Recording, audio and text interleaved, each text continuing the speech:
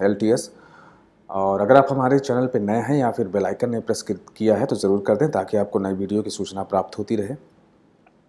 यहाँ पे मिस्टर योगेश लालमे साहब ने पूछा है कि, sir, please make video on Adani green energy shares. इसका मतलब आप निवेशित हैं या फिर लेने की सोच रहे होंगे या हो सकता है इस स्टॉक में आपको रुचि हो। तो ज़रूर इस स्टॉक या कंपनी के बारे में मैंने अभी तक वीडियो नहीं बनाया तो मैं प्रायोरिटी वाइज मैं लोगों के जो स्टॉक्स के रिकमेंडेशंस मुझे आती है कि इस पर बनाया जाए, इस पर बनाया जाए।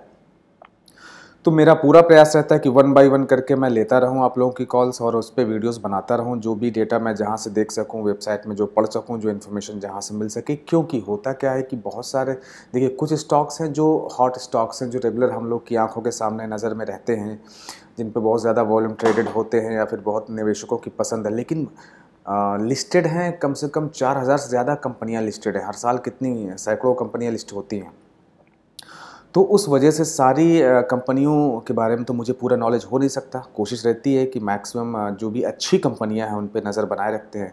एटलीस्ट निफ्टी फिफ्टी हो गए या फिर जो माइक्रो कैप कंपनी भी हॉट स्टॉक जिनके अच्छे रिटर्न्स अच्छी कंपनियाँ हैं। तो इस वजह से मैं वन बाय वन एक एक करके कॉल लेता रहता हूँ। तो समय दीजिएगा मुझे, आप लोग थोड़ा धैर्य बनाए रखिएगा। तो आज हम बनाएँगे अदा वीडियो जो बनाए, बनाऊँगा, अदानी ग्रीन एनर्जी पे। और ठीक है योगेश योगेश जी, आप आपको मैं बता दूँ कि ग्रीन एनर्जी ये है एक, जो सोलर से या फिर आपको टर्बाइन से जो प्राप्त होती है बिना किसी पोल्यूशन के, बिना किसी प्रदूषण के या जैसे बहुत सारे अभी तक हमारे भारत देश में कोयले से भी बिजली बनाई जाती है तो उसमें काफ़ी पोल्यूशन भी होता है, प्रदूषण भी होता है तो और ख़र्चा भी होता है। हमारे जो मिनरल्स हैं, उन पर बहुत ज़्यादा खपत होती है। तो इस वजह से ग्रीन एनर्जी जो है इनका एक, सेगमेंट है। अदानी ग्रुप का। तो इसके हम कुछ फंडामेंटल्स दे, देखेंगे लेकिन मैं एक और डिस्क्लेमर देना चाहूँगा कोई भी स्टॉक खरीदने या बेचने से पहले आप अपने फाइनेंशियल एडवाइज़र ज़रूर मशवरा करें। आ, मेरा काम है सिर्फ़ इन्फॉर्मेशन देना और मैं बता दूँ कि एनर्जी की जो कंपनियाँ हैं जो भी लिस्टेड चाहे सुजलॉन एनर्जी हो चाहे ऊर्जा ग्लोबल हो चाहे आ, कोई भी पावर की कंपनी हो और या इंफ्रास्ट्रक्चर की कोई कंपनी हो रियल इस्टेट की तो जो इसका बूम था आज से 10-12 साल पहले 2008-9 जब मार्केट क्रैश हुई थी 9-10-11 उस समय खूब फली फूली ये कंपनियाँ और लोगों को अच्छा खासा रिटर्न भी बनाया लेकिन जिन्होंने हाई लेवल पे लेके रखा था, आज वो लगातार गिरावट पे हाँ। दस सालों से बहुत ज़्यादा उन पर कर्जा है रियल इस्टेट में बहुत ज़्यादा फ्रॉड हुआ है। तो इस वजह से जो है थोड़ा सा इन कंपनियों को हम अवॉइड करते हैं। लेकिन चलिए, अदानी ग्रीन एनर्जी के बारे में पहले देख लें कि क्या अभी फ़िलहाल जो जून अठारह में लिस्टेड हुई थी एक साल भी नहीं हुए हैं अभी। अदानी इंटरप्राइजेस से सेपरेट होकर तो यहाँ पे जब हम एक साल के जो रिजल्ट्स हैं वो नहीं दिखा सकते क्योंकि उसमें मुझे लगता है कि जो अदानी इंटरप्राइजेज हैं, उनके भी सम्मिलित हैं जो रिजल्ट्स हैं। तो इस क्वार्टर के देख लेते हैं, दिसंबर 18 के और मार्च 19 के फाइनेंशियल ईयर 2019 पे। तो नेट सेल्स जहाँ इनकी दिसंबर अठारह में थी चार सौ छप्पन करोड़ की, वहीं छः सौ अस्सी करोड़ की, जो कि करीब करीब उनचास, पचास परसेंट के आसपास आप मान के चलिए, बढ़त है ग्रोथ है। और वहीं पे हम कंसोलिडेटेड नेट प्रॉफिट में जाते हैं तो देखिए यहाँ पे दिसंबर अठारह में भी 117 करोड़ की नेगेटिव में लॉस था इनका और मार्च 19 में ये लॉस कम हुआ है। सॉरी 90 वेरी सॉरी 93 करोड़ का लॉस रह गया, लेकिन फिर भी है तो लॉस ही लॉस तो लॉस ही है। और यहाँ पे देखिए 20.34 परसेंट की यहाँ पे लॉस कम दिखा रहा तो ये हम इसको डाउन साइड ही मानेंगे। रही बात ओपीएम की ऑपरेटिंग प्रॉफिट मार्जिन की तो जहाँ दिसंबर अठारह में सत्ताईस percent eighty seven point four five percent की थी, वहीं हो गई sixty five point six six percent की, यहाँ पे ट्वेंटी वन परसेंट की नेगेटिव करीब आसपास ट्वेंटी वन परसेंट के आसपास डाउन साइड है।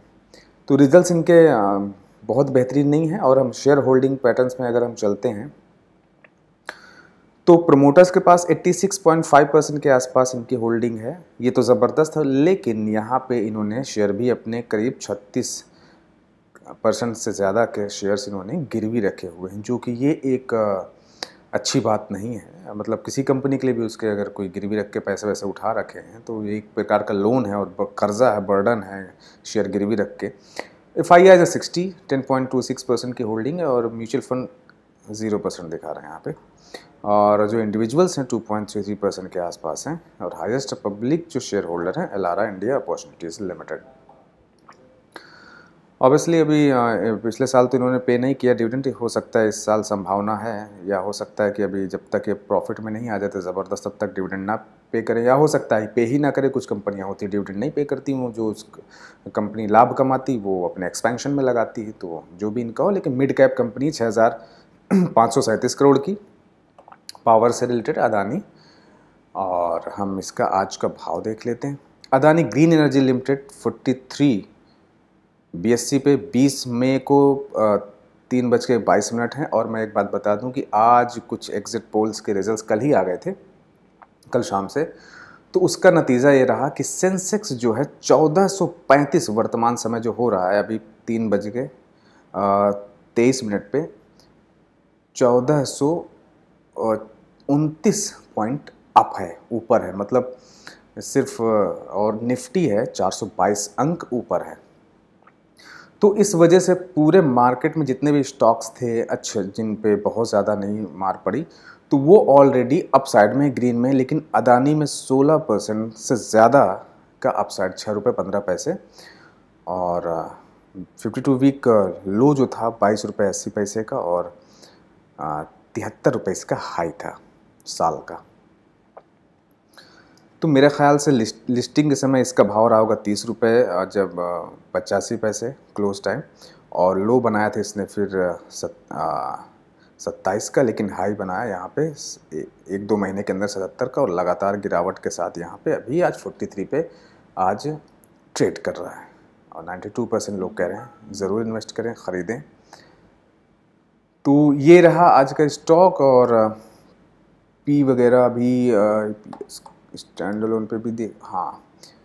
चलिए हम बुक वैल्यू है थर्टीन पॉइंट एट ज़ीरो की डिलीवरेबल है fifty three point two seven percent के आसपास फेस वैल्यू अभी भी दो की है प्राइस टू बुक है थ्री पॉइंट वन टू की।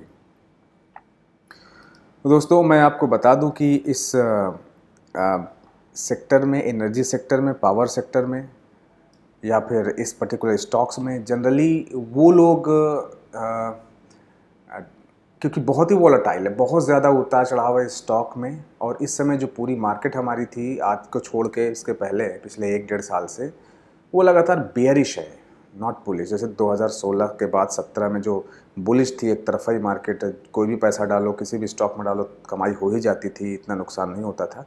तो इस वजह से अभी फ़िलहाल पावर सेक्टर में ख़ास कर ऐसे स्टॉक्स में मुझे लगता है ट्रेडर्स ही ज़्यादा एक्टिव रहते हैं।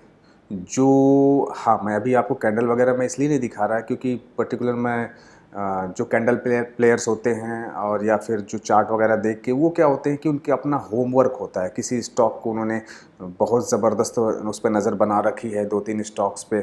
ये मैं इसलिए कह रहा हूँ क्योंकि मैं ऐसे कई लोगों को जानता भी हूँ, जो प्रॉपर अपनी स्टडी करते हैं, एक दो स्टॉक पे नज़र बना के रखते हैं और उनकी हर चाल उनको, हर मोमेंट उनको पता रहती है। तो वो इंट्राडे हो, चाहे वो शॉर्ट टर्म कॉल हो, उस पर वो लोग कमाते हैं नो डाउट इसमें कोई दो राय नहीं है। जिनके एक्सपर्ट हो जाते हैं धीरे धीरे तो उनका अपना होमवर्क उनकी अपनी खुद की स्टडी ये बहुत मायने रखती है। चाहे आप भी अगर इस ऐसे करते हो तो आप ज़रूर महसूस करते होंगे। लेकिन हमारा जो चैनल है, जो मैं कॉल देता हूँ, वो लॉन्ग टर्म के पर्पज़ से देता हूँ, जिसमें आपको लंबे समय में किसी प्रकार का रिस्क ना हो और अच्छा मुनाफा प्राप्त हो। तो जहाँ रिटर्न की बात है तो रिटर्न में मैं दिखा देता हूँ। इस स्टॉक की, लेकिन मैं लंबे समय के लिए इसमें बुलिश नहीं हूँ कि आगे भी आपको कमाती रहेगी। देखिए, जिन्होंने ईयर डेट यानी जनवरी से पैसे लगा रखे, उनको दो दशमलव आठ छः परसेंट का रिटर्न है, लेकिन छः महीने पहले जिन्होंने पैसे लगाए थे, उनको करीब पौने चार परसेंट का रिटर्न है, और जिन्होंने तीन महीने पैसे लगाए थे, उनको करीब करीब चालीस परसेंट के आसपास का रिटर्न है। वन मंथ पहले जिन्होंने लगाया था, उनको साढ़े चार परसेंट का नेगेटिव रिटर्न है, लेकिन वन वीक पहले जिन्होंने जिन्होंने लगाया था, उनको करीब चौदह परसेंट के आसपास का रिटर्न है, लेकिन जिन्होंने आज मतलब आज मार्केट अप है उन्होंने करीब करीब इनको पंद्रह, साढ़े पंद्रह परसेंट के आसपास का रिटर्न उनको मिल रहा है क्योंकि आज ज़बरदस्त सेंसेक्स भी भागा है और सारे स्टॉक्स भी भाग रहे हैं। तो यहीं पे अपना मैं वीडियो वाइंड अप करना चाहूँगा। आशा है कि आपको ज़रूर ये पसंद आया होगा और मैं इस पर अभी कोई भी राय अपनी नहीं दे रहा हूँ कि इसमें क्या करना चाहिए आपको। लंबे समय के निवेशकों को मैं बिल्कुल भी राय अभी नहीं दे रहा हूँ।